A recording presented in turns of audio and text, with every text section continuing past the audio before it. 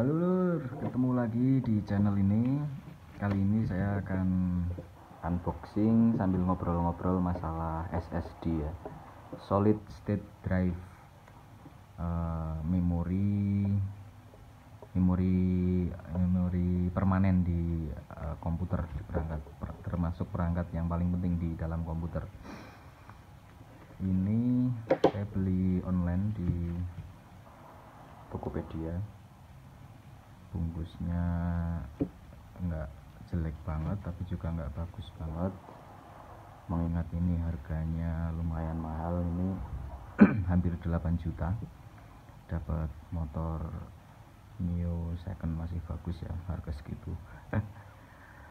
Langsung saja kita buka coba. Ini SSD kelas server.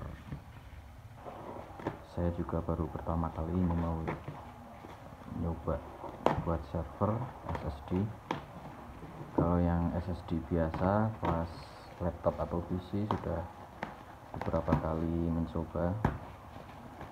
Bagi yang belum familiar SSD itu uh, generasi terbaru dari harddisk harddisk itu komponen komputer yang berputar yang fungsinya untuk menyimpan. Jadi kalau kalian membuka komputer di situ ada sistem operasi Windows atau Linux atau uh, apa pun sistem operasinya. Kalian terus membuka uh, musik atau membuka data-data di komputer.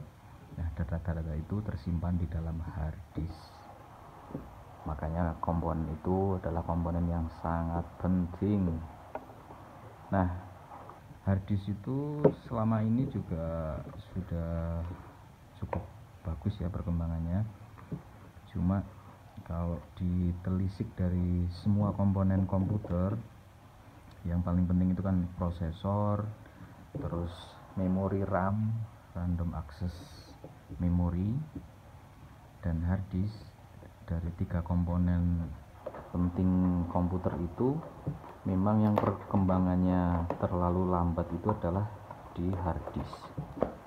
Jadi bisa jadi anda pakai komputer misalnya Intel i3, i5, i7 itu sudah kenceng RAM-nya sudah di upgrade RAM-nya sekarang minimal biasanya 4 GB sudah ada yang pakai 8 GB bahkan 16 GB cuma kadang masih terkendala lambat ketika mengakses file itu karena di komponen harddisknya nah sebagai perbandingan SSD dengan harddisk itu kalau harddisk biasa harddisk biasa misalnya harddisk bawaan laptop uh, saya misalnya punya laptop Lenovo itu laptop i5 harga barunya di kisaran 7 jutaan itu harddisknya harddisk 1 tera. Nah harddisknya itu secara volume besar 1 tera itu sudah besar. 1 tera itu sama dengan 1000 giga. Cuma kecepatannya itu kita ngomong kecepatan ini bukan bukan ngomongin masalah besar volumenya kecepatannya itu ketika kita misalnya mengcopy film atau mengcopy data misalnya ngopi antar drive biasanya di dalam komputer uh, hard disk itu kan di partisi ada C, D, E dan sebagainya. Uh, copy datanya itu ngopi data berurutan artinya misalnya ngopi film besar film 2 giga misalnya. Nah biasanya per secondnya per detiknya itu kalau hard disk itu cuma di 150 mentok-mentoknya di 180 per second. Berbeda dengan SSD solid state drive ini uh, kalau interface-nya interface SATA 3 SATA 3 itu dia mampu sampai 500 uh, 550 mega per second. Jadi bisa dibandingkan 150 berbanding dengan 550 itu kan sudah jauh sekali ya. Belum lagi eh, apa namanya? Akses time-nya nah ini yang paling penting. Akses time-nya itu perpindahan. Eh, misalnya kalian buka eh, drive C kemudian sambil buka uh, mutar musik sambil browsing itu kan buka banyak file itu. Nah perpindahan file-file itu akses time kalau harddisk biasa itu tuj sekitar 17 nah, ini acuannya saya pernah coba tes pakai HD tool tool yang untuk uh, apa namanya untuk melihat kecepatan harddisk pakai HD Tune itu akses time untuk harddisk biasa itu di 17 uh, milisecond. Memang belum belum ada satu detik. 17 milisecond. Cuma karena uh, kalau maksudnya apa ya? Meskipun di bawah satu detik tapi itu sudah terlalu terlalu lambat jika dibandingkan dengan kecepatan prosesornya kecepatan RAM-nya dan sebagainya.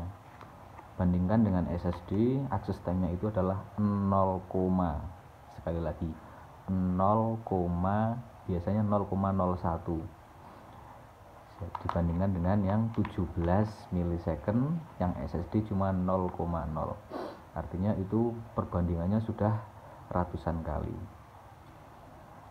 Oke itu uh, sekedar informasi. Nah ini penampakan yang SSD untuk server sistem X. Ini tertulis 400 giga. Interface-nya SAS SAS SAS itu uh, serial ah, saya lupa singkatannya. Uh, intinya ini interface untuk server ya. SAS SAS itu seperti ini interface-nya. Interface-nya perbedaannya sama interface yang SATA maksudnya yang untuk komputer desktop. Kalau yang SATA itu ini kan untuk uh, power dan ini untuk data. Nah kalau yang SATA itu dia terpisah dia ada gap di sini uh, dia tidak nyambung. Tapi kalau yang SAS itu dia nyambung. Makanya interface ini kalau dipasang di komputer desktop itu nggak bisa nggak bisa masuk. Berbeda sebaliknya kalau uh, yang sistem SAS misalnya komputer server pakai harddisk biasa itu bisa masuk kalau yang ini yang model SAS SAS ini perkembangan dari kalau dulu dulu banget uh, server itu pakainya SCSI SCSI uh, SCSI uh, ini, ini ini singkatannya juga juga ada sekasi sekasinya ini yang SAS ini. Nah kelebihannya dari SATA ini kalau yang sekasi atau yang SAS ini dia transfer rate-nya lebih besar. Sekaligus misalnya pakai kabel panjang pakai kabel panjang itu bisa. Beda dengan kabel SATA kabel harddisk itu ya. Kalau teman-teman buka di komputer itu paling panjangnya cuma setengah meter. Kalau lebih dari itu dia uh, datanya bisa korup uh, terjadi penurunan uh, penurunan kecepatan berbeda dengan SAS ini dia bisa kabel panjang. Biasanya sampai 2 meter itu uh, performanya tidak menurun. Nah ini memang harganya memang mahal banget. Kalau uh, saya tadi sudah katakan yang 400 giga aja ini harganya hampir 8 juta 7, 7 juta sekian. Cuma ini yang SAS uh, terus ini 12 gigabit per secondnya kalau yang SSD server yang masih pakai SATA itu lebih murah lagi. Meskipun kalau dibandingkan dengan SSD yang komputer biasa atau SSD laptop itu juga jauh ya lebih tetap lebih mahal. Nah untuk SSD ini saya awalnya masih ragu untuk menggunakan SSD di server karena kalau baca-baca uh, di internet itu usia apa namanya SSD ini uh, istilahnya ada usianya. Takutnya kan yang namanya server itu kan menangani data penting. Kalau sampai datanya hilang itu kan wah bisa kena berabe ya? Bisa kena marah bos dan intinya itu fatal lah kalau kalau sampai uh, artinya meskipun SSD itu cepat sudah uh, terkenal dari dulu yang SSD itu cepat cuma yang masih ragu itu di uh, apa namanya ketahanan endurance-nya ketahanan terhadap kerusakan. Nah ternyata uh, belum lama ini browsing browsing juga ternyata sudah ada SSD yang untuk server. Nah uh, masalah ketahanan ketahanannya gimana? Nah sebelum saya bahas ketahanan jadi uh, hard disk itu kan komponennya uh, dia nyimpen nyimpen datanya itu kan di dalam disk yang berputar. Jadi ada komponen mekaniknya. Komponen mekanik. Biasanya kerusakan hard disk itu uh, seringnya di komponen mekaniknya. Kalau di servis kalau memang rusaknya di mekanik biasanya dibawa ke tempat servis uh, biasanya dibongkar terus dikencengin baut-bautnya. Uh, itu bener lagi. Uh, bisa terbaca lagi. Ataupun misalnya rusak chipnya. Rusak chipnya itu uh, kalau dicarikan chip yang mirip itu juga bisa sembuh lagi bisa beroperasi lagi. Cuma jarang terjadi kerusakan di chip. Biasanya kerusakan uh, bed sektor awalnya uh, bed sektor itu biasanya karena uh, putaran apa namanya uh, biring biring atau kalau lahar lahar piring harddisknya itu dia goyang uh, biasanya terjadi bed sektor tapi kalau piringnya itu dibetulin uh, kalau rusak piringnya diganti atau biasanya kendor bautnya dikencengin itu sembuh lagi. Nah berbeda dengan SSD SSD ini tidak ada komponen mekaniknya. Jadi ini modelnya chip model IC seperti uh, ini pakainya NAND flash seperti memori di handphone nah ini, ini memang teknologinya sama dengan yang di handphone Nah, kelemahannya yang namanya NAND flash itu, chip itu dia ada batasan usia uh, usia dia tidak bisa ditulis lagi. Berbeda dengan tadi yang harddisk. Yang harddisk itu tidak tidak ada batasan yang seperti itu. Uh, cuma ya yang harddisk itu yang pertama lambat, yang kedua rawan terjadi kerusakan mekaniknya.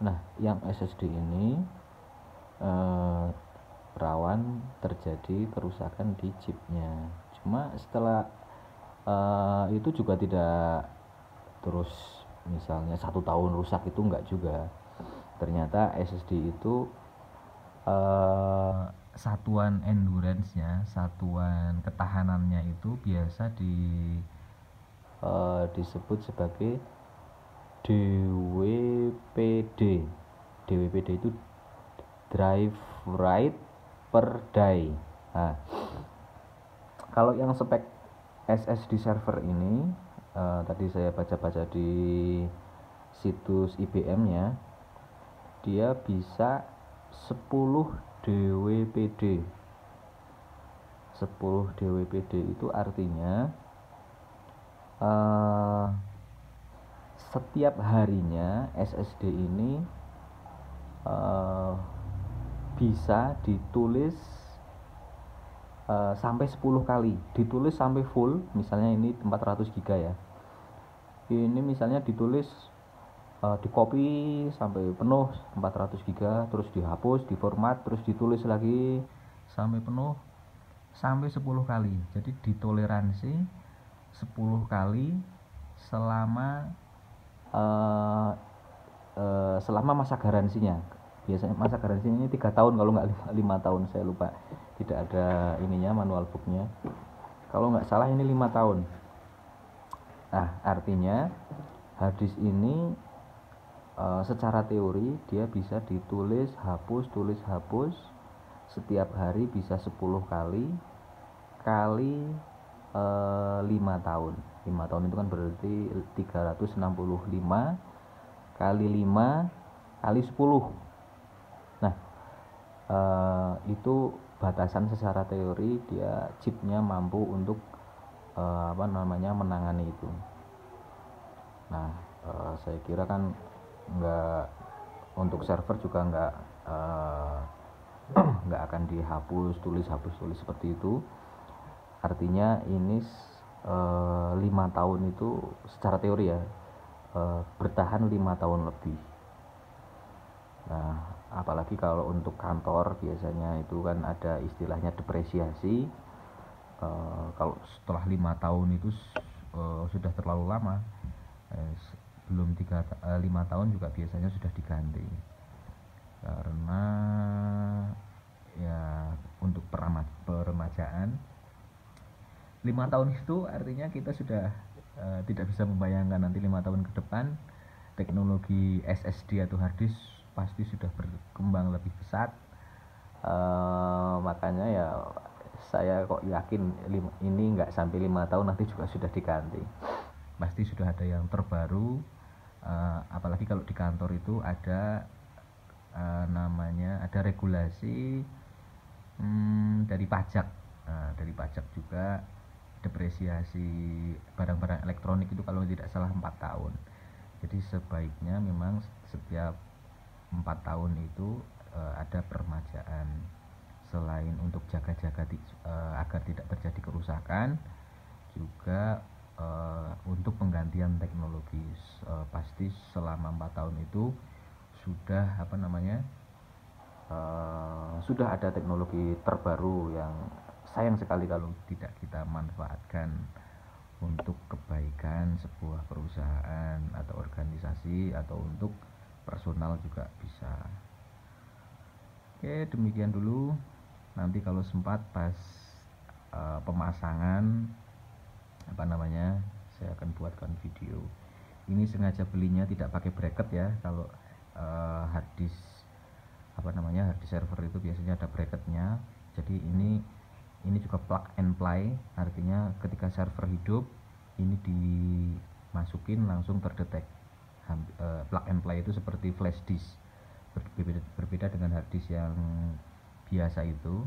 Anda tidak bisa misalnya komputer lagi nyala terus pasang hard disk itu pasti komputernya bisa-bisa uh, apa namanya restart uh, terjadi error. Restart itu masih mending eh, bisa-bisa meletus terjadi korsleting dan sebagainya. Nah ini saya eh, belinya memang nggak sama bracketnya karena ini rencana mau saya pasang di server IBM lama X3250 M4 kalau beli sama bracketnya itu juga nggak nggak beda sama bracketnya jadi sayang terus ternyata saya nego sama penjualnya. Kalau tidak sama bracketnya itu harganya berbeda lumayan. Bracketnya itu cukup lumayan mahal ya eh, di atas 200 harganya. Oke sekian. Uh, terima kasih